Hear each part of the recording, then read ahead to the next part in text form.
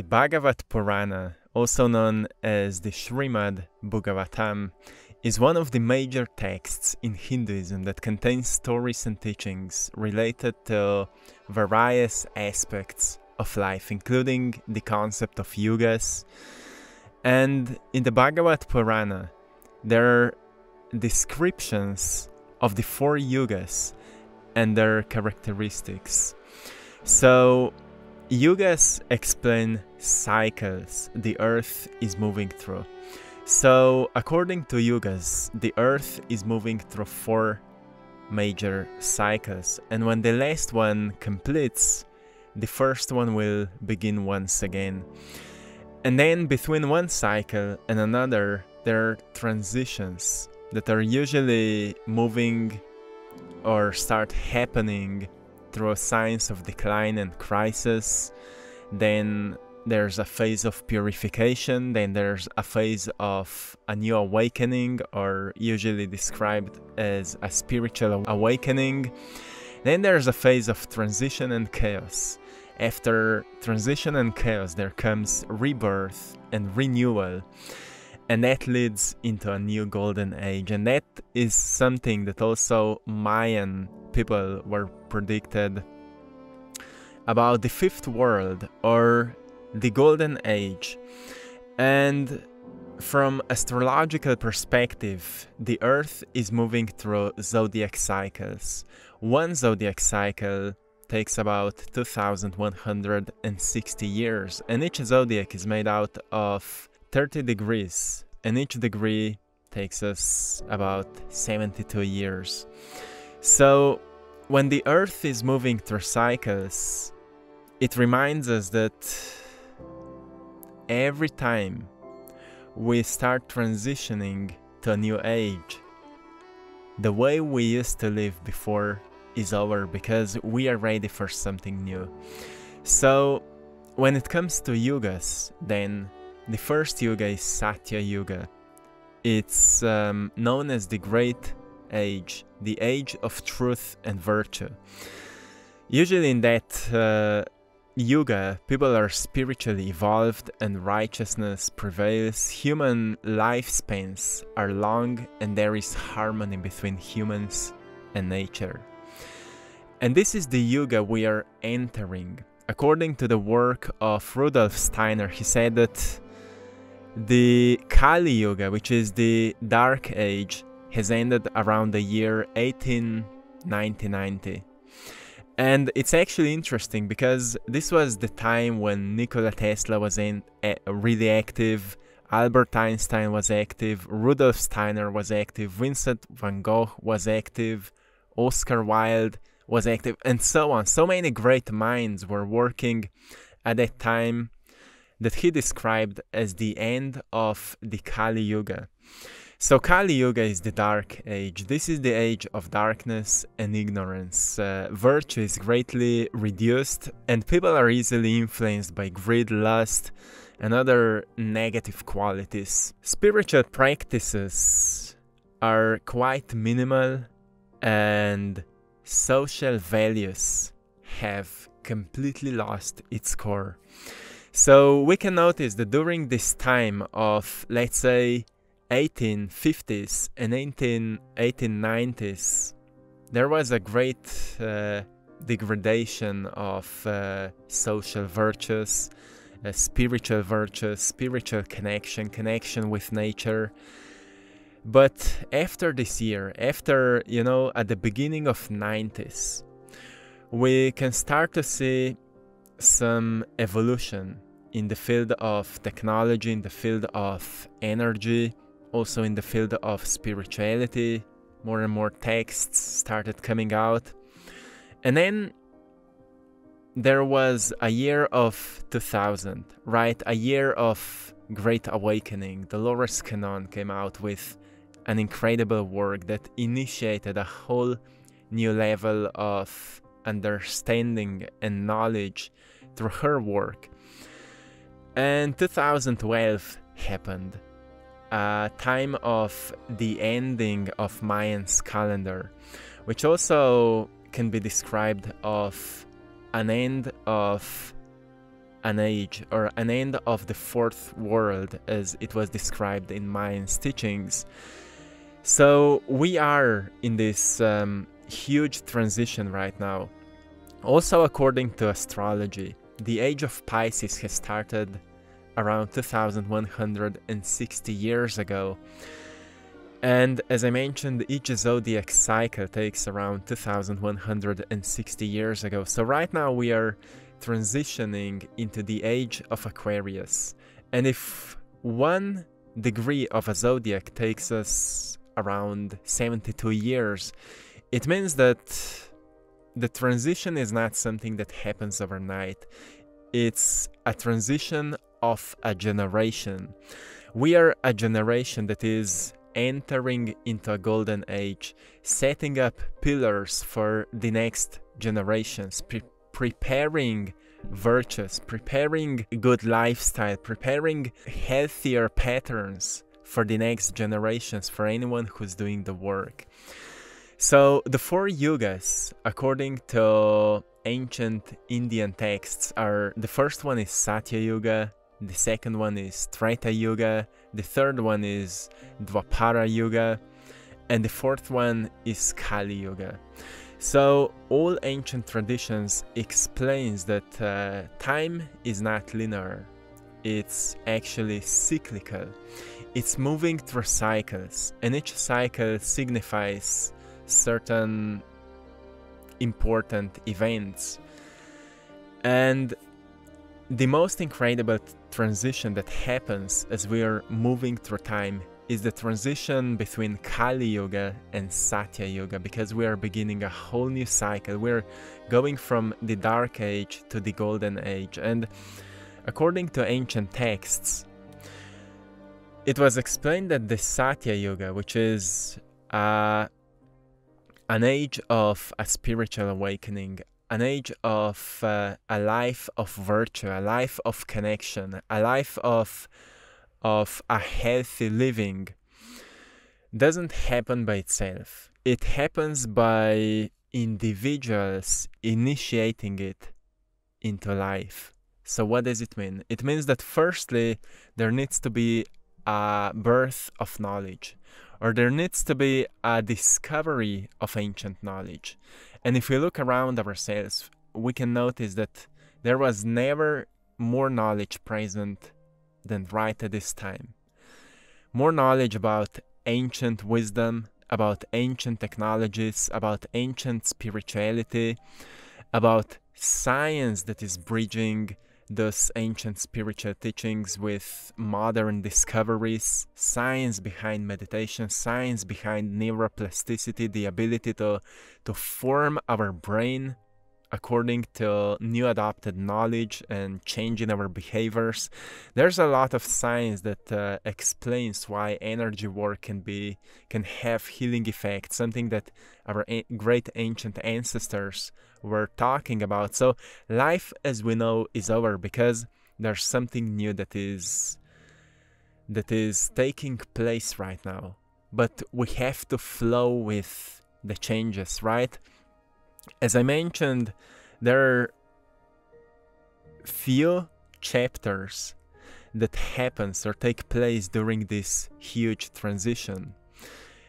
As the first one is decline or crisis. We've seen that, right? We've experienced that. In many prophecies and belief systems, there is often a period of decline, crisis, and upheaval in the old order.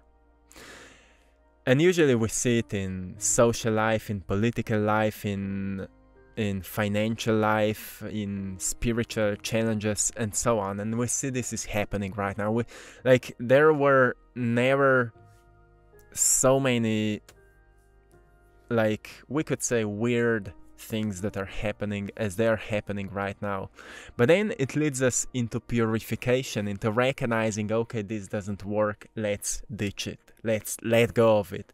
And let's embody what actually works. Let's for each individual it's a, a point of decision like this is what I want to do more of. This is what truly makes me feel alive. This is what kind of relationships are not working for me this is what kind of lifestyle is not working for me. This is what was maybe advertised to me, but it's it clearly doesn't work. So an individual starts a whole purification journey when he or she decides what he or she actually wants to do on that heart level, on on the level that can be beneficial for health in the body, clarity in the mind, and peace in the heart, right? This is the stage of purification, and obviously, this stage leads us into awakening and enlightenment, which is often also a theme in many transformation narratives, many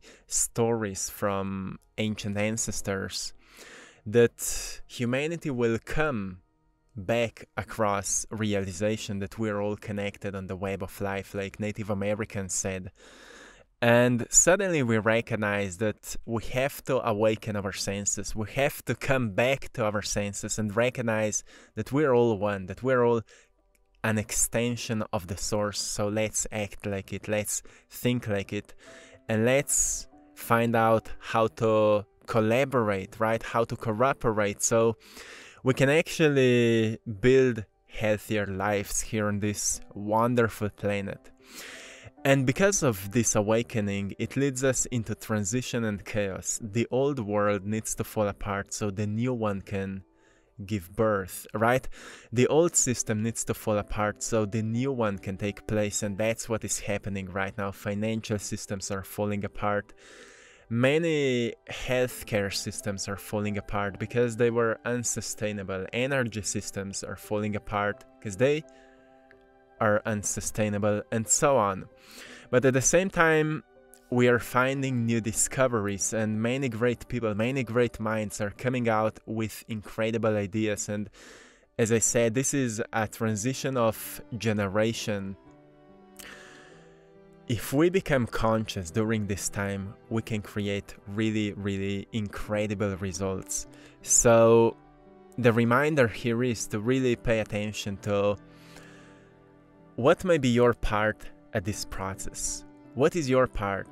And don't think it's small or big or whatever. Just ask yourself. Maybe your part is just healing your family wounds. Maybe your part is uh, restructuring your patterns when it comes to your social skills, when it comes to the way you express yourself, when it comes to a level of kindness, a level of compassion, a level of integrity or or certain values that you're building once again that were lacking in your family tree maybe. And this is already a huge part because those who will walk after you will have something to learn from you that maybe you couldn't learn from your parents.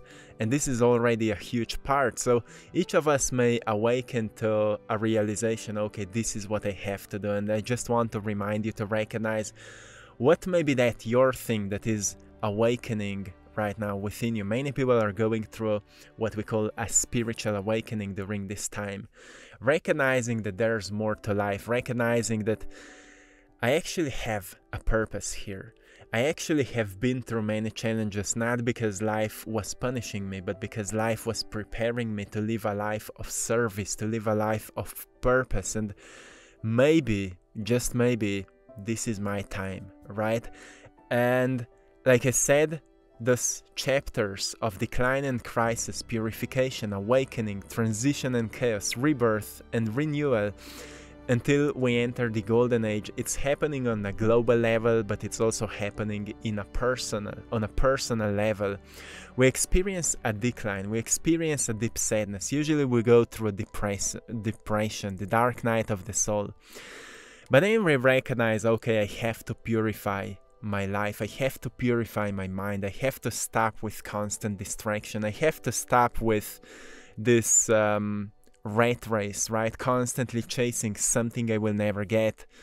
Or even when I get it, I spend it and I start ch- chasing it once again. It's not sustainable. So it's time to purify our lives and start a new lifestyle, right? And it leads us into a whole new awakening. So recognize that this whole process of cycles is happening the same within you as it is happening outside of you. In other words, actually, because we've started that inner transformation, this transformation started happening outside of us as well. So even though nobody can truly truly tell us when Kali Yuga ends, they're just um, theories and speculations. We can see that something huge is happening on the world. As Native Americans also predicted, when the Earth will go into transition period, there will be great changes on the world. There, there will be changes in the weather, and we see it. We see it in floods happening all over the world, fires happening all over the world, earthquakes are happening all over the world.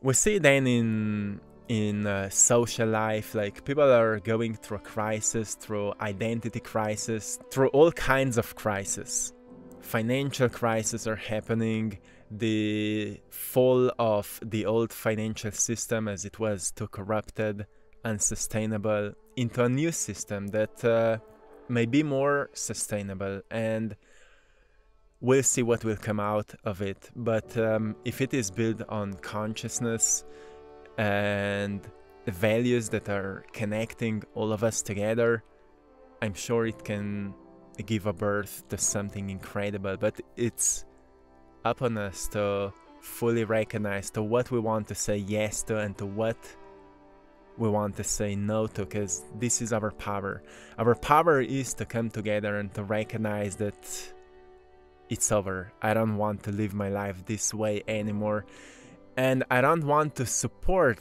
these belief systems anymore because truly, what are beliefs but stories we've told to ourselves for such a long time that we've started believing them, even though they may not be true, even though they may not be helpful for us anymore. And if we look for something for a long time, we truly start believing it's whatever story, whatever was presented to us. And our job right now is to purify ourselves and to recognize what knowledge can serve us and what is outdated, right? And this is a journey for each individual. So, my job as a messenger is to remind you to look within and to recognize what is awakening right at this time for you. And what may be your part at improving your life so you can become an example in society for what is a healthy way of living? Because we're all here a work in, in progress, right? Uh, but at the same time, a work in process that is moving through cycles that are kinda unfamiliar until we acquire a greater knowledge that reminds us of our true power and of the meaning why we are here at this such a unique time and what this time is truly teaching us because each of us is here on purpose each of us is here with a great reason and the reason is that within you there's something unique you can bring to this society to this planet at this unique time. Only you can do it, nobody else but you can do it. But you have to discover it. You have to be brave enough and courageous enough to let go of limiting stories that are telling you that you're weak, that you're unworthy, that you're not good enough, that you're a bad person, that you are whatever you've been told, and to embody your inner truth, whatever truth resonates with you. To embody your own virtues that can help you to live or to have integrity towards them, like virtue of justice, virtue of moderation, virtue of wisdom, virtue of anything that may help you to live a good life, to live a life of meaning. So study yourself, study the past, study anything that can help you to empower yourself. I found great power in philosophy. I found great power in spirituality, but also in science, in neuroscience, for example. I've recognized how my brain works. So I've learned to organize my life the way that it can actually work for me, that I can actually wake up inspired to do something great today, to be creative, to be in flow state. And the science of biology and epigenetics can tell you that actually you're not just yourself right now, you're carrying within your DNA a wisdom of your ancestors something I've shared with you yesterday. So remind yourself of your power, acknowledge yourself because you're the leader of this time. You're the teacher, you're the healer, you're the mystic, you're the guru, you're whatever, however you want to call yourself. You are the one you've been waiting for. So wake up, my friend. I hope you found something valuable today. I hope you've enjoyed in today's painting as well. The Spirit of a Lion, my latest painting. I hope you've enjoyed it. To anyone who would love to support my art, you can find it in our Etsy store. I Draw My Passion, the link is in the description of this video. Thank you so much. And my friends, I love you all. I'm sending you all lots of love, blessings, and power. Stay beautiful, and till next time, one love.